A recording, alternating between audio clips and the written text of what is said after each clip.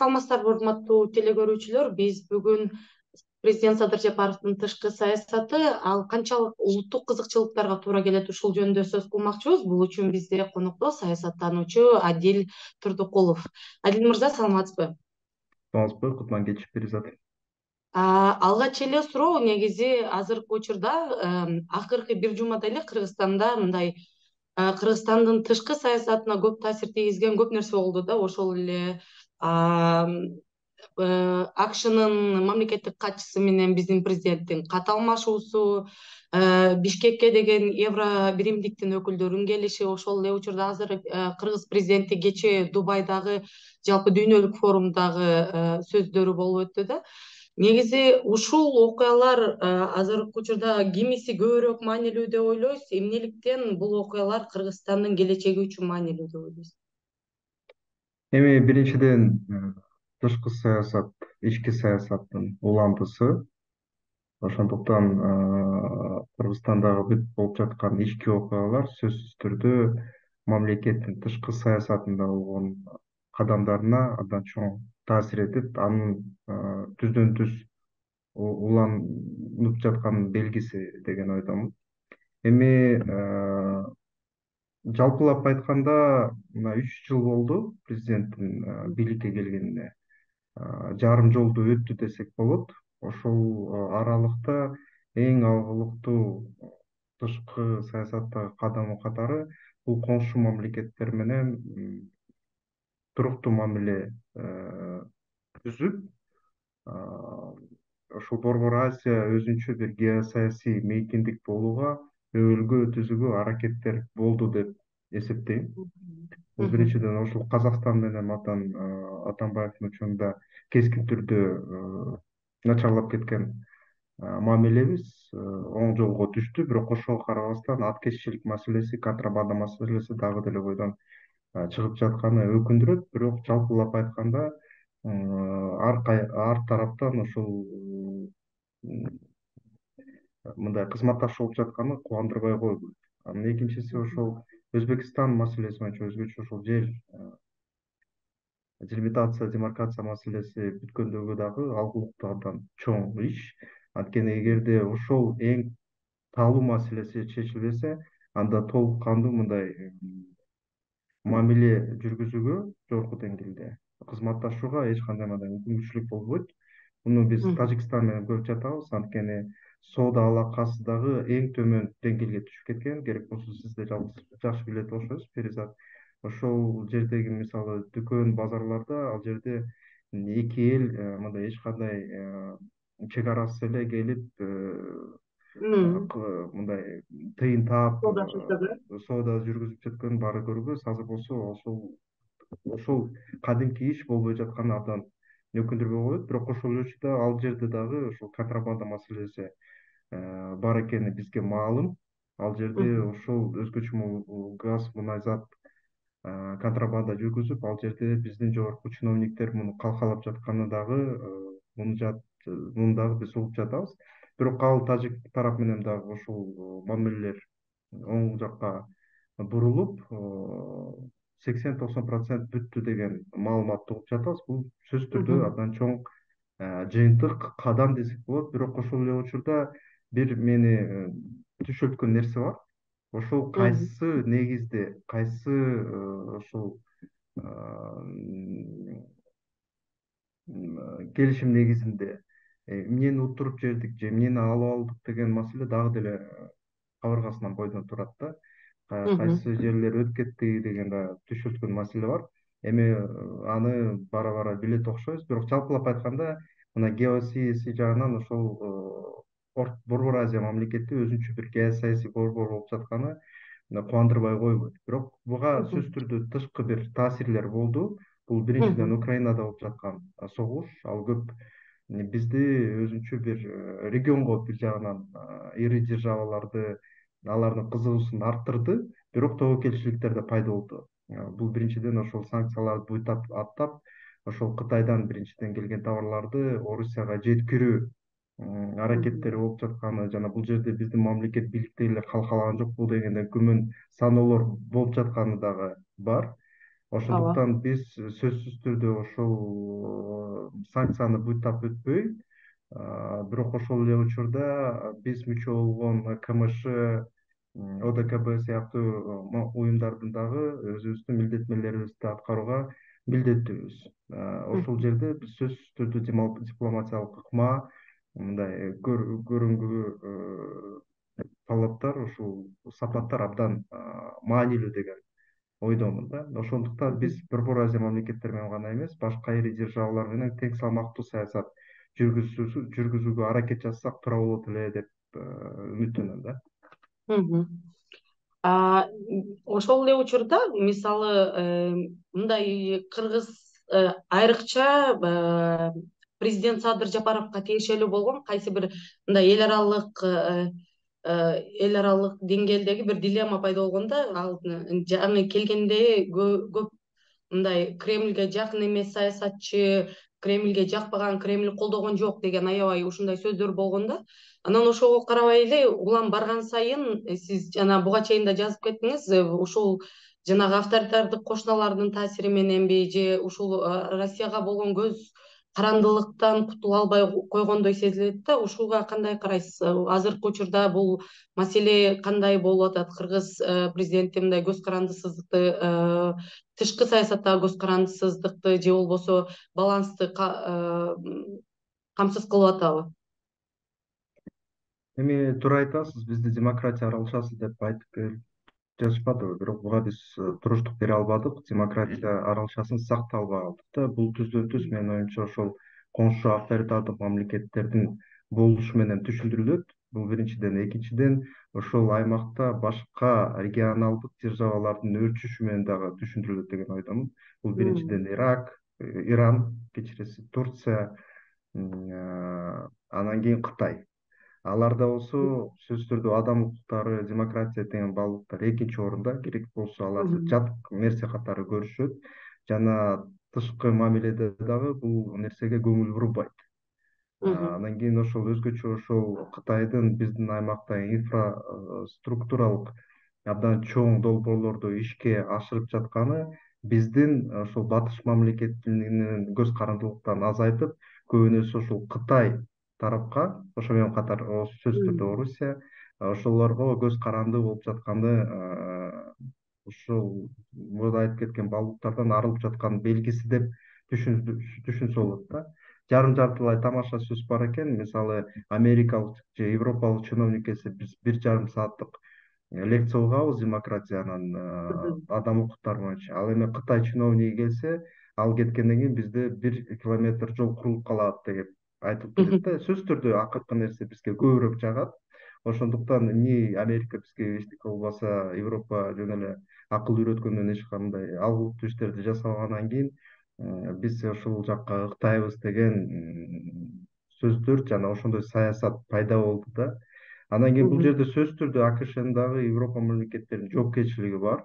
Анткени алар ошол токсонунчу жылдары өзгөчө демократияны мындай колдоп келсе анан кийин эки миңинчи жылдардан баштап америкалык база манас аэропортунда жайгашкандан кийин коопсуздук маселеси абдан мындай приоритеттүү болуп баштады да. Алар биздин региондо өзгөчө кыргызстанда дагы адам укуктары бузулса дагы демократиянан артка кетсек дагы көз жазымында калтырып эң негизгиси биздин базабыз болсо экен ишмердүүлүк жүргүзсө экен деген эле аракеттер болгондуктан ошол биз дагы бара бара ушул демократия аралашасы деген наамдан арылдык. Эми бул наам монголияга өтүп кетпедиби бирок монголиянын э, мисалында деле биз көрүп жатабыз эки державанын ортосунда болсо дагы эки авторитардык чоң ири керек болсо азыр мына тоталитардык э, ыкмага өтүп кеткен державалардын ортосунда болсо дагы алар ошол өзүнүн принциптеринен тайбай тескерисинче ошол азиядагы эң алгылыктуу демократия мамлекетин курууга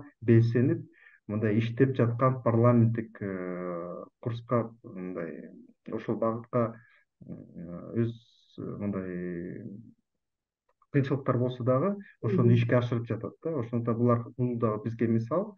Бул эми азыр болуп жаткан процесстер эми толкун сыяктуу процесстер деп ойлойм. Анткени жылдык э, тарыхыбыз көрсөткөндөй биз кээ бир учурда демократиялык баалуулуктарыбызды ээлеп бирок аны ошол туруктуу иштөөгө мындай ошондой система түзө алган жокпуз. Кайра мындай ошондуктан артка кетип жатабыз. Бирок биздин эл эркиндикти сүйгөн эл ал эч убакта мындай э, бийликтин тоталитардык таптакыр процесстерге мындай багынып бербейт. Э, кийинчерээк жакын аралыкта кайрадан эле ошол баалуулуктарды өзүбүзгө ала алабыз деген ишеним бар менин анан дагы бир нерсе бул бул жанагы блинкен менен биздин президент садыр жапаровдун кат алмашуусу болду да сиз садыр жапаровдун блинкендин катын буга чейин да талкуулаганбыз ал эмне үчүн ушундай жазды бул кыргызстанга эмнелерди түшүндүрүшү мүмкүн дегенчи анан негизи эле ага берген садыр жапаровдун жообу канчалык дипломатиялык жол менен жазылды канчалык мындай кыргызстандын кызыкчылыгына кайра бут тосуп койбойбу. Мисалы биз ар бир өлкөнүн алдында биз алардын саясатын жүргүзүүгө эмес кыргызстандын өзүнүн кызыкчылыктарын коргоо үчүн дипломатиялык байланыштар түзүп атабыз анан бул мындай кичине кескин түрдө жооп берүү канчалык туура деп ойлойсуз эми биздикилер айыптап жатпайбы ошол американы европа мамлекеттерин дагы алар бизге ошол мпо медиа аркылуу биздин ички саясатыбызга кийлигишип жана өз кызыкчылыктарын көздөп жатат бул жерде мен жарым жартылай кошулам. Сөзсүз түрдө бул жерде геосаясий кандайдыр бир алардын кызыкчылыгы бар болушу мүмкүн. Бирок ошол эле кезде алардын кызыкчылыктары биз менен дал келиши мүмкүн да. Ошол мполор жана массалык маалымат каражаттарынын кеңири жайылышы кыргызстанда өзгөчө. Бул биздин өзгөчө коңшу мамлекеттерден алыулуктуу кандайдыр бир алардан айырмалап жаткан биздин жемишке алып келчү нерсе да. Анткени ошол эле мполор масс медиалар алар ачыктан ачык ишмердүүлүгүн жүргүзөт бул жерде кандайдыр бир тымызын жасаган иштер көрүнбөйт. Анткени америка жана европа мамлекеттерилер дагы ал жерде ошол он жылдан бери э, калыптанган система бар да. Баардыгы тең ачык болот. Э, бүт отчеттуулук дагы камсыздалган ошол нерселер бар. Ал эми биз мисалы ошол эле кытай тараптан же орусиядан келген инвестиция кредиттер э, жана алар жүргүзгөн бейөкмөт уюмдар кандай негизде ишмердүүлүк жүргүзүп жатканы биз үчүн бүдөмөк андан кийин мисалы ушул араб мамлекеттеринен дагы жүздөгөн көптөгөн проекттер долбоорлор ишке ашырып жатат. Бул жерде ошол кээ бир учурда экстремисттерди колдоп жаткан жокпу деген да ой күмөндөр бар да. Ошондуктан биздин бүт бийлик э, аппараты ошол э, өзгөчө ислам фактары абдан гүлдөп жатып жана мындай өршүп жаткан учурда ошол саясий ислам биздин мамлекетибизге кандайдыр бир бестабилдүүлүккө алып келбейби деген нерсени э, кабыргасынан коюп ошол нукта ишмердүүлүк жүргүзсө абдан жакшы болот эле деген ойдомун ошол эле укмк анткени ошол багыт алардын өзүнүн мындай негизги багыты болуп эсептелинет да. Э, ошол жагынан кандайдыр бир чабаал болуп жатканы сөзсүз түрдө көрүнүп турат. Эми э, ачыктан ачык э, мындай ачык мындай дипломатиялык тил менен жазылганса дагы алар мындай кооптуу бир сигнал бизге жөнөттү деп эсептейм анткени эгерде ошол мыйзамдар кабыл алынса анда өзгөчө силер абдан мындай силерге абдан керектүү болгон саламаттык сактоо жана билим берүү тармагы алсырайт деп эле ачык эле айтышты. Анткени э, көптөгөн ошол долбоорлор так э, ачык айтылбаганы менен чындыгында ошол тармакты э, мындай кармап турган. Жана мындай ошол ошонун негизинде бизде мисалы эң кооптуу делген оорулар жайылбай жатканын ошол ошолорго ыраазычылык билдириш керекпиз да мисалы гепатит туберкулез спид сыяктуу оорулардын өрчүп өнүкпөй кетиши дагы ушул батыш мамлекеттин биз жардамын жараша болуп жатат да. Билим тармагында дагы ошол. Ошондуктан мен ошо менен түшүндүрөт элем. Ал эми садыр жапаровдун айткан сөзү бул эки э, максатты көздөйт. Бул биринчиден өзүнүн э, көз карандысыз лидер катары көрсөтүү. Мен мындай жооп бердим деп. Бирок ишке келгенде чындыгында жанакы мыйзамдарды кабыл албай э, кандай кечеңдетип жаткандыгы ошол каттын блинкендин катынын жыйынтыгы деп айтсак болот да. Анткени эгерде биз ошол ошол радикалдуу кадамдарга барсак анда көп нерселерден арылып биздин мамлекетке чын эле бестабилдүүлүккө жол алат деп бийлик акырында түшүндү деп эсептейм. Бирок сөзсүз түрдө анын риторикасы бул туура эмес бул дипломатиялык э, негизге дал келбейт. Ал ошондой сөз менен бир ушул таптакыр мындай биздин ички проблемаларыбызды башка мамлекеттердин көрүп жаткандай э, сез калтырды анан кийин э, мен айтып кетпедимби тышкы саясатта бул тең салмактуулук болуш керек да. Таптакыр эле ушул батыш мамлекеттерден арыла албайбыз. Анткени батыш десек эле бул американы гана эсептебейт. Ошол эле корея жапония малайзия керек болсо бүт европа биримдиги баардыгы тең ошол батышта жалпылап айтканда анан эгерде биз э, американын таптакыр эле ошол кол үзүп кол үзүү саясаты жүрсө анда биз башка мамлекеттер менен да мамилебизди алсыратабыз буга биз бара албайбыз. Анткени өзү өзү дүйнө чырмалашкан биз дүйнөнүн бир бөлүгүбүз ошондуктан эгерде биз өнүгөлүк десек анда тең салмактуу саясат жүргүзүп ошол алар кызматташууга бел байлаш керек деп ойлойм негизи эле э, ушул азыркы учурда дүйнөдө э, аябагандай чоң процесстер болуп атат. Жалпы эле мисалы э, ар кандай согуштар эл аралык масштабтагы согуштардан баштап мындай кийин ушул жыйырма төртүнчү жылы көп нерсе өзгөрүп кетиши да мүмкүн деген күтүүлөр бар да. Себеби дегенде дүйнөнүн бир төрт миллиардтай калкы жыйырманчы жыйырма төртүнчү жылы бул шайлоо болуп режимдердин өзгөрүүсүнө да алып келүүсү мүмкүн деген күтүүлөр бар да. Анан ушул учурда кыргызстандын тышкы саясаттагы өзүнүн кызыкчылыгы эмнеден башталыш керек да? Мисалы биз ушул кайсы бир концептуалдык э, нерселер жөнүндө сөз кыла турган болсок да буга чейин биз жалаң ушул эл аралык донорлордон акча алып эле анан кайра э, мындай бир Э, мындай жардам алгандай эле керек сыяктуу сезилип калган да кыргызстандын жалпы көз карандысыз көз карандылыгы э, бюджеттин көз карандылыгы э гранттардан. Негизи э, кыргызстандын тышкы саясаты эмнеге негизделиши керек болчу? Кыргызстандын саясаты биринчиден ошол коңшу мамлекеттер менен тыгыз конструктивдүү мамиле түзүшү менен багытталыш керек. Ошол нукта анткени борбор азия мамлекеттери э, биринчиден э, э, бир тарыхы бар. Экономикасы дагы бири бири менен чырмалашкан бир тилде сүйлөйт бири бирин түшүнөт менталитети дагы бир анан эгерде биз өзүбүздүн кандайдыр бир орусча айтканда повестканы сунуштайлык десек эгерде биз кандайдыр бир дүйнө жүзүндө кандайдыр бир саясатты жүргүзөлүк десек анда биз бир гана кыргызстан аркылуу эмес борбор азия аймагы геосаясий биримдик аркылуу болгонго аракет жасашыбыз керек да. Ал эми чындыгында ири державалар орусия болобу кытай болобу америка деле буга анча кызыкпайт. Анткени бир мамлекетти багындыруу жана өзүнүн саясатын таңулоо жөнөкөйрөөк да. Ал эми борбор азияга бүт мамлекеттерине кандайдыр бир аракет жүргүзүп таасир этүү кыйыныраак турат ошондуктан бул тарапта мисалы ошол эле япония баштаган борбор азия плюс форматы абдан жакшы жыйынтык берчүдөй анткени ошол форматта ар бир ошол борбор азия мамлекеттердин кызыкчылыгы камтылат. Ошол нуктагы саясатты биз уланта берсек кийинчерээк биз кандайдыр бир чыныгы евро биримдик сыяктуу борбор азия биримдигин түзө алганга өбөлгө түзүлөт. Эми буга чейин эмне буга мындай болгон жок анткени чындыгында башка мамлекеттердин ошол ири держава орусиялардын дагы бөлүп жаруу аракеттери болуп жатат. Мисалы ошол эле тажикстан тарапы менен биздин согуш бул э, тышкы дагы э, кызыктар күчтөрдүн аракетинин аркасында болду деп мен мисалы эсептейм да.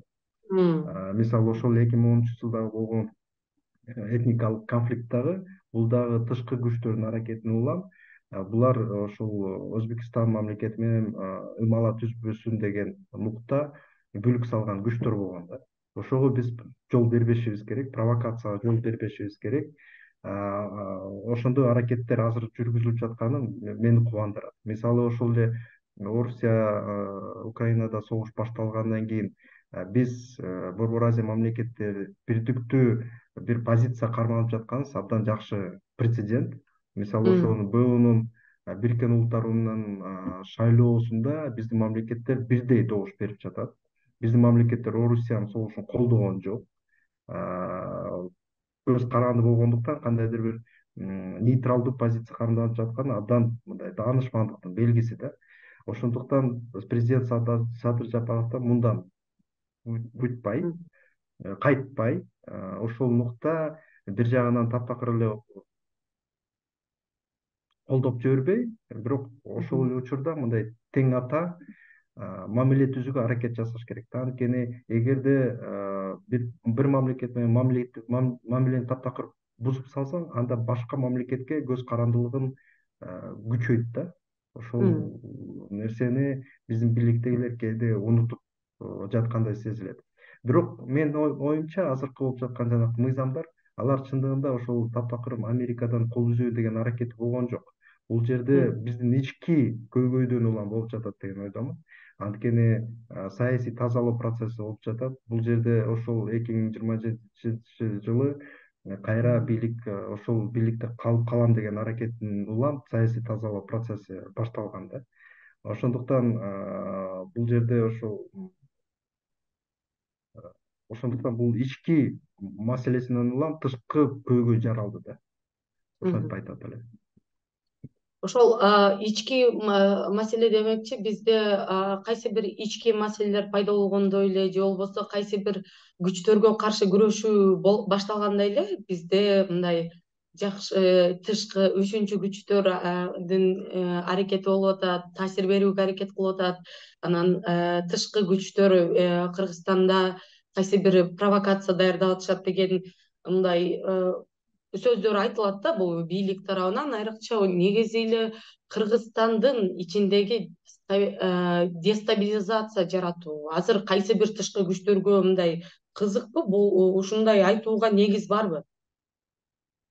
Эми мисалы ошол эле борбор азия мамлекеттерин акыркы үч жылда көптөгөн мындай чыр чатактар болуп кетти. Ошол каракалпакстандагы окуя мисалы. Эки жыл мурунку алматыда болгон кан төгүлүү биздин ошол тажик тарап менен болгон бир нече жолу болгон ок атышуу бул баардыгы тең биздин коопсуздугубузга кедерги тийгизген. Абдан чоң провокациянын уландысынын жыйынтыгы десек болот да. Бул эмнеден болуп жатат? Бул иш чара түшүнбөстүктөн жана биздин ушул укук коргоо жана коопсуздук органдар алар приоритеттерди туура эмес койгондуктан болуп жатат деген ойдомун ошол эле укмк ички иштер министрлиги күч структуралары деги эле баардыгы тең ошол биздин мамлекеттердин ичиндеги ушул экстремисттерди чалгындоо жасай турган жана башка мамлекеттерден колдоосунан улам жанакы ар кандай күч радикалдуу кадамдарга бара турган уюмдардын абдан тыкыр көзөмөлдөп турушу керек. Бул мамлекеттин функциясы. Ал эми ошол мполорду жана медиаларды үчүнчү күч деп атоо өзү туура эмес анткени алар ачыктан ачык саясатка кийлигишпейт булар кандайдыр бир саясий күчтү колдоп эмес алар принциптер жөнүндө сүйлөйт бул биринчиден экинчиден алардын ишмердүүлүгү апачык бул жерде ошол укмкнын мындай кандайдыр бир бүдөмөк маалыматты издеп табуу аракети туура эмес. Анткени баардыгы тең ачыктан ачык ошол кандайдыр бир долбоорлорду ишке ашырат жана алардын болушу бул өзү мамлекет буга кызыктар болуш керек да. Анткени ошол мполор жана медиалар кыргызстанда болгон көйгөйлөрдү алып чыгып ошонун маселелердин чечүү жолдорун мамлекетке сунуштайт ошондуктан мамлекет ошол э, айткан адамдын оозун жабуу менен ошол айткан нерселерди көйгөйлөрдү чечүү аракетин көрсө ошондо мамлекет да өнүгөт э, бүт тараптар да утат деген э, менин терең ишенимим бар да. Анан дагы бир нерсе президент садыр жапаровго кызматка келгенден бери тышкы саясаттагы дагы бир мүмкүн жакшы деп айтсак болот жакшы өзгөрүүлөрдүн бири бул түрк тилдүү мамлекеттер менен болгон мамилелердин жакшырышы бекемделиши ошол эле учурда бул дүйнөдөгү державалардын бири болгон кытай менен болгон соода алакалардын жакшырышы болуп атат да. Ошол тармактардагы кыргызстандын кыргызстан ушул күчтөрдү негизи турция дагы дүйнөдөгү чоң ири мамлекеттердин бири болуп эсептелинет кытай дагы да. Ушул эки мамлекет менен мамилелерин жакшыруусу кандай таасир берет деп ойлойсуз? Кыргызстандын дүйнөдөгү ордуна айрыкча биз билип атабыз эгер э, украинадагы согуш бүткөндөн кийин жаңы дүйнөлүк режим түзүлүшү мүмкүн ал жакта жаман өлкөлөр жакшы өлкөлөр деп кайрадан жанагы экинчи дүйнөлүк согуштан кийинкидей болуп бөлүнүп калышы мүмкүн да кыргызстан ушул э, перспективадан алып караганда эки өлкө кыргызстанга кандай таасир бериши мүмкүн эми кошунаны тандабайт дейт өзгөчө ошол кытай мамлекети биздин ири кошуна. Бир кезде акаев айткан болчу бизде океан жок деп айтып калышат. Ошондуктан соода дагы өнүкпөйт деген бизде ой калыптанып калган. А чындыгында биз океандын жанында жайгашканбыз. Бул кытай мамлекети деп айтып келген да. Көрөгөчтүк бир ой болгон деп эсептейм. Анткени чындыгында бүт ушул токсонунчу жылдардын дордойдун дагы мындай өнүгүп өрчүп келиши биздин транзиттик мамлекет катары дагы көп ошол соода саттык мамилеси дагы өркүндөп кетиши челноктордун дагы жайылышы баардыгы ушул ушул кытай тараптан болуп жатат да ошол бизде көмүскө экономика деп келе жатышпайбы мындай айптапчы жана мунун дагы мындай орчундуу ролду ойногону кытай мамлекети менен ал жерден товарлар келип түшүшү ошол көмүскө экономиканы өрчүтүп жатат да. Бул сөзсүздө ачыкка чыгарыш керек. Бирок чындыгында ошол ошондогу чоң көлөм көлөм соода көлөмү. Бул кыргыз экономикасын бир э, таптакыр анга түшпөй мындай калыбында э, кармап келип жаткан белгиси деп түшүнсөк болот да. Ошондуктан бизге абдан маанилүү. Кытай менен мамиле андан кийин ошол э, кытайдын дагы бир жакшы өзгөчөлүгү ал ички мамилеге таптакыр киришпейт алар кандайдыр бир ошол кыргызстанды багындырып салып эски кандайдыр бир колониялык э, ойлору жок да. Анткени өздөрүнүн толтура толгон токой проблемалары бар. Ошол эле тибет тайвань анан синьцзян. Балким бир жагынан ошол синьцзян дагы биз менен чектеш болуп жаткан дагы жакшы нерседир. Анткени аларга эң негизгиси ошол э, уйгур сепаратизми өнүгүп өрчүп кетпеш керек да ошондуктан алар ошондуктан андай э, радикалдык идеялар өсүп кетпеш үчүн экономика туруктуу болуш керек жана коопсуздук болуш керек. Ошол тараптан алар дагы бизге колдоо көрсөтүп жаткан ошол себептен болуп жатат да. Ошондуктан биз кытайдын эки тараптуу мамиле менен катар дагы шанхай биримдик аркылуу дагы э, ошол уюмдун уюмга салым кошуп ошонун дагы бир барандуу мындай чоң ири уюмга болушуна салым кошуп жатканыбыз жакшы нерсе андан кийин э, кытай тараптагы эң башкы долбоор ошол өзбекстан кыргызстан кытай темир жолу курулса анда биздин мындай э, бир жагынан аткезчилик азаят анткени ал жерде баардыгы тең такталган болот маалымат. Экинчиден биздин ошол э, европага болгон ачкыч түзүлөт да. Анда биз эбегейсиз чоң утушка ээ болобуз анан кийин ошол мындай географиялык тупик деп коет го биздин мамлекет. Ошондон чыгууга бизде эң чоң мүмкүнчүлүк болот. Бул абдан жакшы иш. Эми турция мамлекети алар туркия мамлекети бизди биринчи жолу биринчи болуп ошол биринчилер болуп көз карандысыздык тааныган аларда сөзсүз түрдө кандайдыр бир ошол пост импердик өздөрүнүн геосаясий аракеттери болушу мүмкүн. Бирок аны кайрадан түзүп туран мамлекети э, кылып кандайдыр бир бир башка кошуп бул мүмкүн эмес буга ишенбейм ошондуктан алар менен дагы тең ата мамиле түзүп э, өзгөчө ошол билим берүү саламаттык сактоо тармактардагы абдан чоң жакшы долбоорлор ишке ашып жатат да кыргызстандачы ошону дагы керек. Андан кийин